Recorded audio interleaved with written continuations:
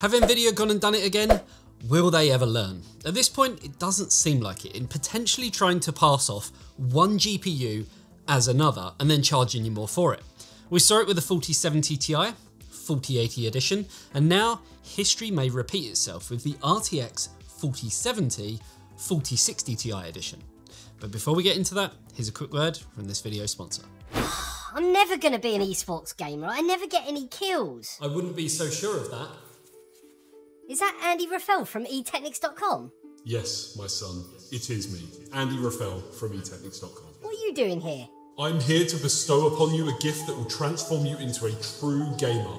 With a 24.5 inch full HD screen, 240Hz refresh rate, 0.5 millisecond response time, AMD FreeSync Premium, and height adjustability, you'll be gaming in the big leagues in no time. Ah, thank you.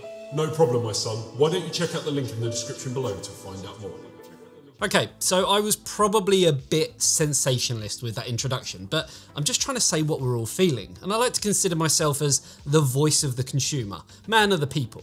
And luckily, I have a platform to speak from, in the hope that we all get our voices heard. And memory sizes is once again the talk of the town when it comes to GeForce based GPUs.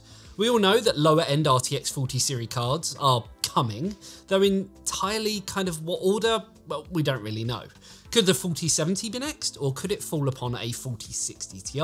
Or maybe even something in between that leaves consumers confused and angry again, much like we saw when the 4080 12GB was cancelled, thanks to the huge uproar that gamers had. Though not that it made a huge difference, as the 4070 Ti was still about $100 overpriced, and the 4080 isn't exactly, well, selling in the droves that was expected by Team Green, especially as Nvidia are reportedly halting production, albeit temporarily, of the RTX 4090 in the hope that more people will actually buy the RTX 4080.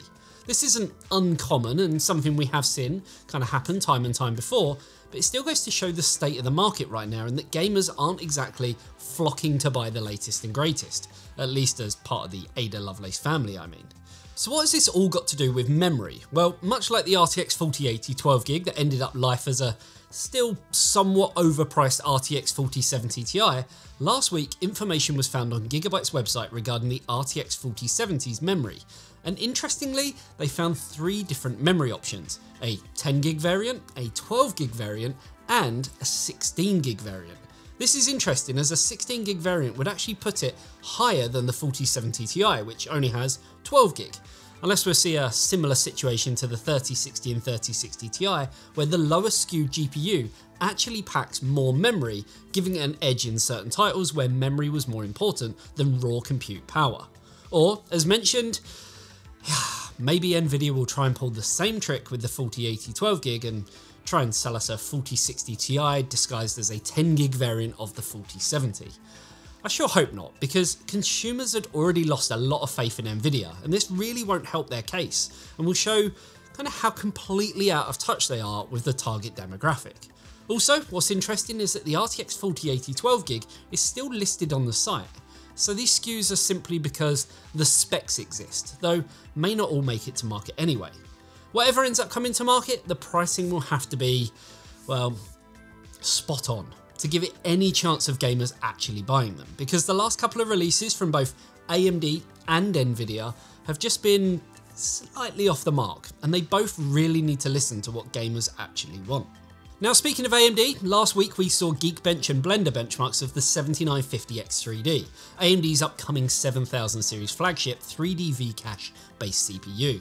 And while it didn't exactly look great, it was kind of expected, much like how the 5800X3D performed worse than its non-X3D counterpart in productivity-based tasks. And well, anything that wasn't gaming related, mainly due to the slight chop in base clock speed between them. Obviously gaming is where it matters and this week we finally have something that shows what we all wanted to know, how it performs in gaming benchmarks and how it compares to the Intel Core i9 13900K, where it ends up coming in around 6% faster. Now, leaks from the Brazilian site HD Tecnologia shows the two CPUs tested with both the AMD's flagship Radeon 7900 XTX and Nvidia's RTX 4090, along with 6000 MHz DDR5 memory, really leaving no argument for bottlenecking. Now, when paired with the 7900 XTX, the 7950 X3D gained a 5.6% average over Intel at 1080p, with some instances of it gaining a margin as high as 21% in F1 and 26% in Horizon Zero Dawn. Though taking them out of the equation, most games performed around 6 to 8% better at most, with some titles actually performing worse. When tested with Nvidia's RTX 4090, the 7950 X3D managed to perform I guess slightly better with an average 6% increase in performance over Intel, as well as a much larger 16% over its non-X3D counterpart. Again, F1 and Horizon Zero Dawn saw some massive 25 to 27% margins over Intel, but it doesn't paint the full picture. What does paint a better picture is no matter if you're using a 7900 XTX or RTX 4090, you'll be getting 5 to 6% better performance over Intel, but for 18% more money. Is it worth that? That's really down to the individual consumer. Alongside these AMD benchmarks, another leaker has shown similar benchmarks on Twitter, but instead with an RTX 3090. The leaker didn't provide any further system specs beyond the 3090, but showed off their multi-threaded Cinebench score as well as five gaming benchmarks, further reinforcing the 7950 X3D as outperforming the 13900K. What's also interesting is that while both of these leaks pit the 7950 X3D against the 13900K, so does the leaked AMD slide, showing anywhere from an 11% loss to the Intel CPU all the way up to that 20% plus high in Horizon Zero Dawn and F122. But that's not the interesting part. What I'm wondering is, where's the 13900KS, which typically offers up around 5 to 6% more gaming performance than the 13900K in a lot of titles, which would ironically pit it perfectly against the 7950 X3D. Even more so because it comes in with the same $699 price tag. Maybe AMD know that they will actually lose against it and that's why it's not been shown anywhere. Maybe we'll look to do some kind of head-to-head -head showdown between the two CPUs if AMD bothered to send us one. Or maybe we'll buy one so that we can bring that content directly to you. And if you want to help us on that front, you can over on Patreon. The link is down below. That way we don't have to rely on the likes of AMD to bring the content that maybe they aren't exactly keen to show you. Now I don't want to finish this video without giving a fair shake to every brand, and that's where Intel Arc comes into play. While it's not exactly had the best start to its life, things are getting better with driver updates that have actually seen it making strides to become a viable option for those on a budget something that both AMD and Nvidia have seemingly forgotten about as of late, while they both strive for the very high end, admittedly where they can make more profit per sale. Now what we've seen is that Intel have had an influx of stock, namely on the Arc A750 arrive within the UK and the rest of Europe.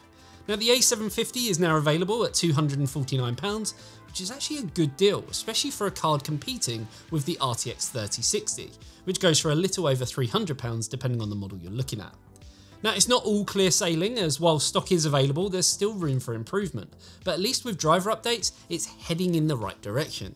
And it wouldn't surprise me if, uh, I don't know, Intel maybe did a relaunch of their ARC lineup in the hope of receiving some favourable press coverage.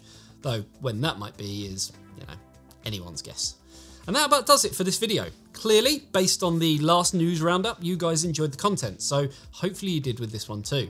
If you do appreciate these types of videos, then a like and a sub to the channel would be amazing. And if you love what we do and want to help us by supporting us to bring you the very best and most unbiased content possible, then consider supporting us over on Patreon. You get access to a whole host of goodies, including behind the scenes content, monthly live Q&A sessions, and of course, it gives us the ability to go out and buy products that you, know, you want to see reviewed. The link for all that good stuff is down below. Thanks for tuning in. I'll see you in the next one. See you later, guys. Bye-bye.